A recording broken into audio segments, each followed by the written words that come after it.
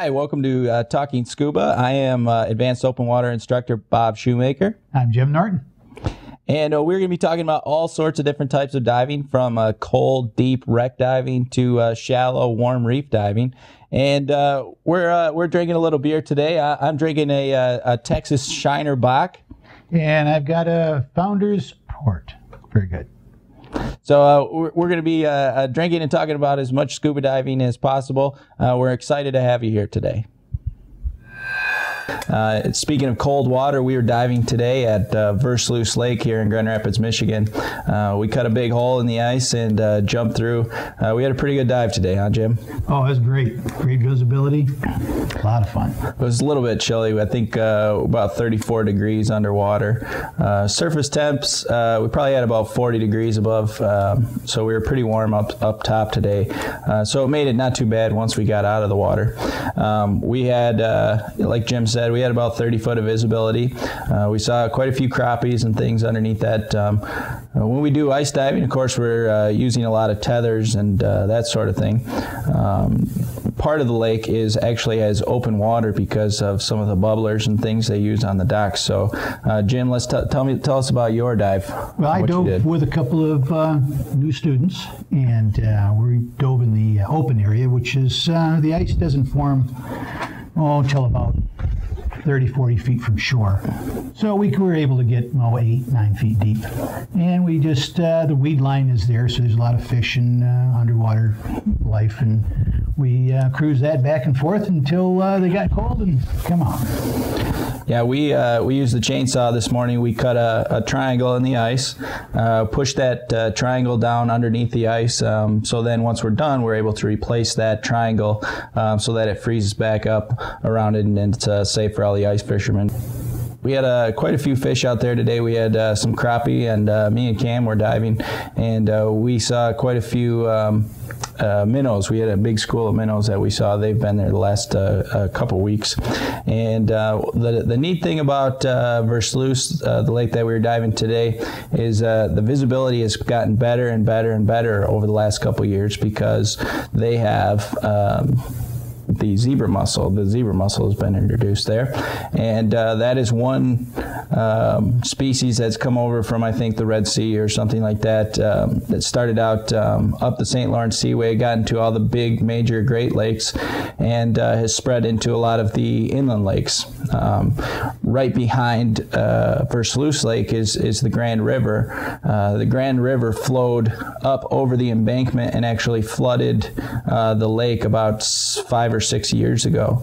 And so now we have those those zebra mussels, um, and although they are damaging to boats and um, and docks and and uh, people really don't like them, uh, we're they actually do uh, wonders for um, the uh, diving. If you look at any of the old video uh, from uh, you know the early 80s or whatever, uh, especially in the Great Lakes, you'll see how dark it is. Even the wrecks that we do today maybe in 70 or 80 foot of water.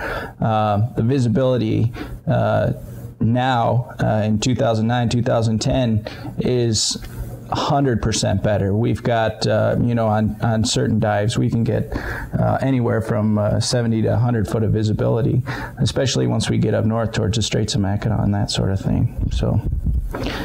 Yeah, the only really downside of the for us with the zebra mussels is they're extremely sharp, almost like razor blades. And we, if you touch a lot of stuff, you go through a lot of gloves. Yeah, it uh, they wreak havoc on uh, neoprene. Actually, what I've heard is uh, they've got these new quagga mussels, or however you pronounce them, and they are uh, actually going to outbreed the uh, zebra mussels. So the zebra mussels might go into extinction, and these new mussels, which are a little bit larger, a little more efficient uh, mussel, might actually breed out the uh, zebra mussel. So uh, like I said, these are an invasive species, and uh, a lot of the wrecks we do, a lot of the stuff we do, Traverse Bay, um, anytime we're, we're in one of the Great Lakes, one of the uh, major Great Lakes, all you see um, are usually the gobies and, uh, and the zebra mussels. They're just everywhere. We see uh, a lot of the uh, crayfish and things too, which a lot of those are invasive species as well. Um, the uh, one, the new one that uh, we're expected to get is uh, the Asian carp.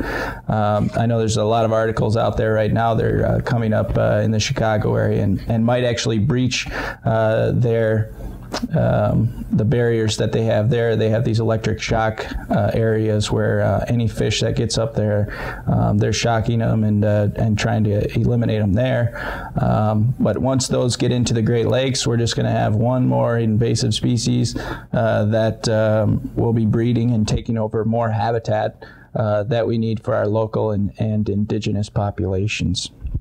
So that's kind of a, a sad deal. Um, another place that's having a, a, big trouble right now with uh, invasive species is down um, in the uh, in the Caribbean areas as well as up the Atlantic coast. Uh, they're dealing with lionfish. Those lionfish are are just everywhere. Uh, a lot of the reefs, uh, wrecks, and things uh, they're just really wreaking havoc on areas and uh, places where they've never been before. They're seeing just hundreds and hundreds of them. Uh, excuse me. So what uh, they're doing in uh, certain areas is, like the Cayman Islands, they're actually having spearfishing contests. Um, a couple weeks ago, they had a spearfishing contest. They killed over 600 lionfish. Um, researchers are saying that they're never going to be able to eliminate that, um, but you know, a lot of a lot of guys like to go out and spearfish. So you can kill two birds with one stone, uh, or uh, hopefully two lionfish with one spear, and um, and uh, have fun doing it at the same time. So, I understand also that the, in New England they had a big cook-off where they were seeing how these chefs would prepare the lionfish, and uh, had a contest doing that, and apparently it turned out pretty good. And I guess they are pretty good to eat, so that'll kind of help reduce the numbers if you can get people to eat them. Yeah, uh, a lionfish sandwich may be the next thing we see uh, uh, on the menus at uh, Red Lobster. So. Um, I want to mention uh, one of our uh, sponsors here before we get going too far. And uh, please help uh, support our sponsors as there's what they're going to bring uh, us to you every week. Um, our first sponsor is uh, Neutral Dive Gear. they are the premier scuba diving clothing and apparel brand for men and women who live, dive, and thrive. have a, they have a new, bold, fresh cross tanks hooded sweatshirt available for purchase. Um, display for all to see your passion passion for diving. Check out the rest of the air apparel at neutraldivegear.com and use the uh, discount discount coupon code Talking Scuba at checkout uh, to save 15% off your order. I saw a lot of their stuff. I went to their website. They have some really cool stuff. Um, they've got a, uh, uh, they're calling it like a tattoo T-shirt or something. They got a scuba diver right on the shoulder. It's they got I some like really good stuff. T-shirt as well. The one on the back, the large uh, design on the back. Yeah, oh, yeah. They've got some cool stuff, um, and they got uh, and for the you uh, you sexy ladies out there, they got some cute shirts for you too. So check them out. Uh, again, our friends at uh, Neutral Dive Gear, neutraldivegear.com. Under what we've been doing lately, I picked up a really interesting book by Clive Cussler for the uh, about the uh, Sea Hunters 3. Two, actually. Sorry about that. But uh, it's a really good read about some excellent stuff. I particularly like the part about the Griffon which is the uh, holy grail of shipwrecks in Lake Michigan. It's uh, the very first commercial ship, sailing ship, ever launched or sunk in the Great Lakes. And uh, it's a really good read if you got time for it. It's wonderful. Do you find anything good in it? Yeah, I, they have a they have a lot of interesting stories. They uh, were looking for stuff. Uh, the uh, the twin sisters guns that they had for uh, down in the Alamo. They were looking for those, as well as uh, the ship the Carpathia. Uh, the interesting thing about the Carpathia that was the first ship that was that was able to help the survivors of the Titanic. Um, and so I think about five years after the incident with the Titanic, when they were rescuing those people. Um, the uh, start of the Great War there. They um, were on their way from uh, over to uh, England, I believe. Um, they had a, a, couple of destroyers or a couple of big uh, battleships um, leading this convoy of, of uh, seven other ships, which were um, they had, uh, you know, uh, just regular citizens they were traveling with, the passenger ships, uh, as well as gear and things like that, that they were traveling with. Um, what ended up happening uh, was kind of interesting. Um, those those battleships or whatever uh, peeled off to go back and get another convoy, and uh, U-boats were uh, lying in wait, uh, ready to shoot. Uh, the Carpathia was was the biggest, largest ship um, at that time in that convoy, and so the U-boat targeted in on that, um, and ended up putting three torpedoes into it and eventually sinking it uh, Clive ended up going out and uh, finding that shipwreck, and um, I think it was in 500 and some foot of water. So wow. obviously out of, uh, of most divers' hands, and um, so they sent down an ROV, uh, remote op- operated vehicle. Um, they were able to check that out and kind of uh, see all the uh, different parts of that, and actually uh, confirm the identification of the ship.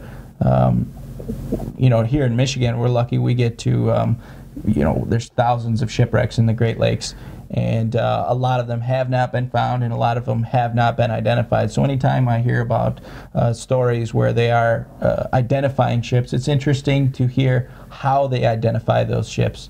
Uh, you know, obviously one of the first things they do.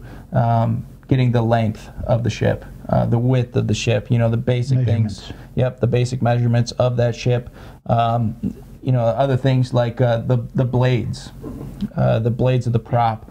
oh, yeah. Um, oh yeah, it's got uh, three blades, it's got four blades. Um, simple things like that that um, will really give you a solid um, identification and, and confirm the identification of the ship.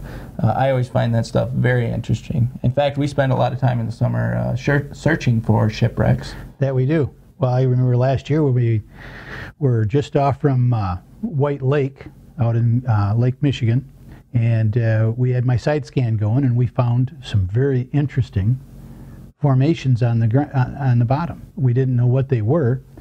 Uh, a good friend of mine, uh, Ed Helm, let me uh, got me a uh, location on the internet where I could look at old newspaper articles. Mm. And I went through that and uh, got very excited because at one time a ship had almost sunk almost floundered there, lost all of their deck cargo. And I thought that's what we had found. But we didn't have time, and we'd already dove two or three times. We didn't have enough surface interval to go check it out. So we went out the next time all excited and uh, found a whole bunch of clay formations. but it was fun. Yeah, it's always fun uh, exploring and, and getting excited, even if it's something uh, that's not that interesting. Um, just uh, just finding new stuff and, and maybe it's been found before but uh, it's new to you so it's always exciting. Uh, diving on the great lakes really is uh, a great time. Uh, if you want to uh, get a hold of sea hunters 2 by clive cussler it is available currently on amazon.com both in audio version and um, and in the traditional sense as well uh, now that I've had my uh, three beers, I think it's time uh, that we actually have our uh, tip of the week. Uh, this week, we're going to be talking about what to wear underneath your wetsuit and uh, what makes you most comfortable. I do a lot of training. I spend most of the summer in my wetsuit, so I'd end up doing a lot of laundry if I were to um, be taking wearing a bunch of stuff underneath my wetsuit. So I, all I do is I go commando as as often as possible. And I find that that's the most comfortable. But most of the time when we're on the dive boats, uh, we can't go commando. Uh, they do not like uh, they do not like it when uh, you've got uh, your uh, your parts hanging out for all to see. So what I like to do is I'll wear um, you know a pair of board shorts, and then underneath that I'll wear um, my compression shorts or or um, or just a, a pair of spandex shorts. That is appreciated. Oh, you're welcome uh, yeah, they don't. Uh, like I said, they don't like to see my hairy parts if they don't have to. So, uh, what? Uh, uh, so I wear. Uh, I take those board shorts off. You got me all flustered. Sorry about I that. took. I take my board shorts off right before I get into my wetsuit. Um, I'm real comfortable under that with just my spandex shorts on, and we're ready to dive. one time we were. I was helping out with a, another instructor's class and uh, we're down in the docks and uh, I had a gal she was uh, from another dive shop and i was helping her get out of her wetsuit and um, i pulled a little bit too hard on her on her um, wetsuit uh, came off and uh, more than just her um, wetsuit came off uh, the bottom half there and it was kind of scary. I think I was 17 at the time, and she looked like she was trying to smuggle Bigfoot in her bikini. So it was kind of a an educational, uh, exciting time for for my young eyes. So that is the tip of the week, and we'll hopefully have one of these next week for you as well. Well, I got I've got an interesting article I got from the CBC, the Canadian Broadcast Channel uh, about a, uh, a, storm that dug up a shipwreck, which kind of reminded me of one of the ships we dive on on a regular basis. Uh, this is off of uh, Prince Edward Islands. It's an old schooner. Uh, it was an orange ship. They call it the orange ship because they thought it was bringing uh, cargo up to the North Country there from down south. Um, but what it is, basically, they have a, a ship that goes in and out of the sand and in and out of the um, ice, and they can only see it every few years. So kind of, uh, like I said, reminds me of a, a, ship that we do, the Salvor. Oh yeah, she gets herself uncovered every now and then, and we find all kinds of interesting stuff on it. It's uh, went down in what 1930 something, somewhere around there, with uh, a load of stones for the uh, pier. Yeah, it uh, it's a semi whaleback. So if you're familiar with that, um, uh, the whaleback design, it, it's shaped more like a uh, submarine than anything. It's got a rounded side, a rounded hull, uh, kind of a neat little boat, and um, and uh, it's only in about what 25 foot of water, something like that. About 25 foot of water. And uh, right off the Muskegon Harbor there, and it's a real easy dive. A lot of guys don't like to do it, but what we find really neat about it is from uh, year to year, uh, from uh, even from uh, beginning of the season to the end of the season, the sand will wash in and out, and we found some pretty neat stuff on that wreck. We have. We found what we think is piece of the bell. we found equipment, all kinds of oh the ribs from the structure of the ship, and it just it's it's kind of a treat every time you dive it. It's something different. That's uh, also the place of the uh, infamous bone find. Um, oh, yeah. We were uh, we're diving along, and uh, Jim's actually running video, and I'm rooting around and and just uh, digging through the, the, debris and stuff like that. And I see what I think is a piece of iron, so I kind of swim over to it and I grab it and pull it out, and it's actually a, uh, human femur bone. Um, so obviously, we don't want to disturb any uh, remains or anything like that, and uh, kind of freaked me out a little bit. So there's a video of me just dropping it and kind of swimming backwards as fast as I can. Um, that uh, I wish that video had sound. yeah, because you probably hear me scream like a girl. Uh, I wasn't. Yep. Uh, it's not something we want to uh, do on a regular basis. Uh, you know, disturbing remains like that. But uh, I think there was uh, five hands lost on that ship, and and that's the case with a lot of the shipwrecks uh, whether in the Atlantic, uh, Pacific, or or here in the Great Lakes. Um, there are uh, lo- you know sometimes significant loss of life, and uh, we have to take that into consideration anytime that we're diving on those ships. Yep, we want to make sure we give it the respect that it deserves, and. Uh, but uh, it's, it, shipwrecks like that usually, with that much sand blowing and covering them up and uncovering them, there's really very little you usually find. Yeah, we uh, yeah we're pretty lucky with that shipwreck to find as much as we have. Um, with the uh, the uh, remains and stuff like that. Uh, here in Michigan, we're, we're lucky that we have all the laws in place. Um, we have a lot of uh, preserves and things like that to make sure that people aren't just uh, going in and, and, essentially raping the uh, these uh, you know historic sites and taking all the uh, stuff off the wrecks uh, so that they can be enjoyed for uh, you know for generations to come. Uh, certainly there are there is deterioration that's happening on these shipwrecks, um, but but like I said, you know we live in probably one of the best places in the world to to dive on shipwrecks because we don't have the hurricanes. When the hurricanes come through, they're going to tear up your shipwreck. Um, when uh, you you're uh, in fresh water, you don't have the worms and things that are going to eat away at the uh, wood. Um, and uh, you know now we have the zebra mussels, which are kind of encrusting everything, um, but it's not as significant as, as let's say coral uh, or or other things that grow down down in in the south or in the salt water. That's the nice thing about the Salvor is because it gets so much sand uh, on it and off from it and eroding it, there's there's very little zebra mussels, if any at all. So that's one nice thing about that.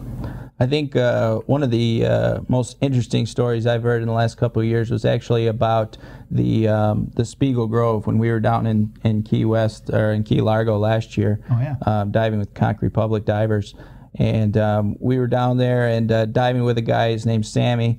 Um, he's actually uh, uh, from Rhode Island originally. And uh, he was telling us about uh, when they first sunk um, the Spiegel Grove. They actually sunk it um, as a as an artificial reef, and it was actually turned upside down. Um, to they wanted to get it righted, so they hired a company somewhere from New England area uh, to build these humongous lift bags um, so that they could get it righted as much as possible. Well, if you've if you've dove the Spiegel Grove, you'll know that there's quite a heavy current there. So um, it, it very very difficult up uh, a d- very difficult project for them to uh, to take on. But anyways, they had these huge lift bags. They were able to actually lift the, the boat. It's 500 and some foot long, really long ship, extremely heavy. But they got it up. Um, they got it onto its side that was the extent uh, that was as far as they could do it. Um, and this is in about 100 and some foot of water uh, low hundreds 110 120 foot of water. What happened is the currents were were um, uh, running uh, parallel with the ship or um, uh, yeah parallel with the ship and um, kind of started to dig it out a little bit and uh, over the course of time it dug a pretty heavy trench. Um, one of the big hurricanes came through and they went back to dive on the ship and all of a sudden the spiegel grove is upright. So that shows you how much power uh, a hurricane can actually have in uh, uprighting a ship uh, of such a significant size. Yeah. that was a really fun uh, fun dive. We got we probably had 40 50 foot of visibility um, i recommend that ship. Uh, it's a little bit deeper so you do need your uh, advanced open water uh, certification uh, from whatever agency uh, you might be trained for. Um, but i definitely re- recommend diving down in the keys. A good time uh, warm water uh, you could see lots of different life and stuff like that. We had a real good time. Good time. I, I particularly liked the Duane. That was a very excellent wreck. yeah we saw quite a few uh, different types of fish on that. I think uh, That's where we've seen the big Jewfish. big Jewfish, uh, Goliath grouper, I think they have to call it now, uh, to be completely politically correct. Um, but uh, we also had um, uh, tons of barracuda and stuff. That was another Oh, place we saw the barracuda. Uh, so that was a fun dive. Um, probably uh, barracuda in the hundreds, just tons and tons of barracuda. We, uh, what are some of the other ones we dove down there? Uh, Oh, gosh. the eagle. The eagle's uh, the one that's split right in half, Right, uh, and and, that's where we saw the turtle. There, we saw a real big turtle. Uh, we actually had a big group go through before us. Um, uh, they had a guide. They were all following the guide, and um, they had a. Uh, um, they completely missed the turtle. Uh, there was 15 or 20 of them just following uh, this dive guide, and uh, we uh, went in behind them and uh, were able to just uh, see that turtle. Um, it was kind of it was probably there the whole time. They just all missed it. So Yeah. that was pretty fun. Um, uh, what else did we dive? We did a lot of reef diving there as well. Yes, a lot of reefs. Uh, molasses Reef. Uh, that was an excellent reef. Um, a lot of fish. Got a chance to see uh, some uh, nurse sharks. Yeah, we had. Uh, we actually had a Canadian guy on the boat.